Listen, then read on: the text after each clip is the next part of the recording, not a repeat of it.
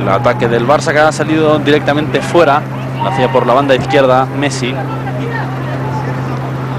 Intenta recuperar el balón el Barça, es Badi López.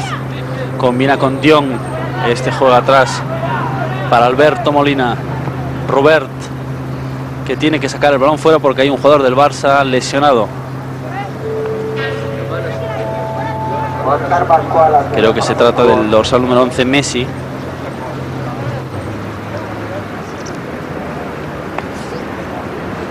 Hace un minuto que ha empezado este partido entre este equipo infantil B del Barça y el Turtosa.